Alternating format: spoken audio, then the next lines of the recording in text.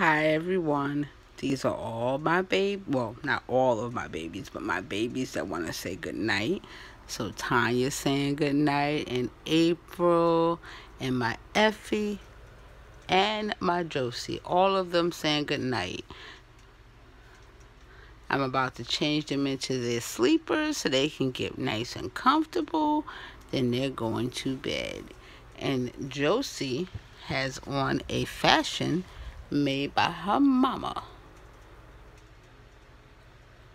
I think came out really cute, but I think I know I'm going to change the the um, yarn that I used. I used, um, come on, sit up, baby.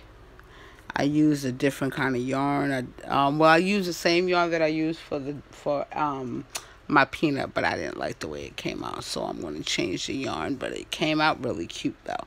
So I'm going to do it again in a different kind of yarn, and then y'all will see the finished product. Okay, y'all have a good day. Bye. Don't forget to like, share, and subscribe. Everybody have a good night.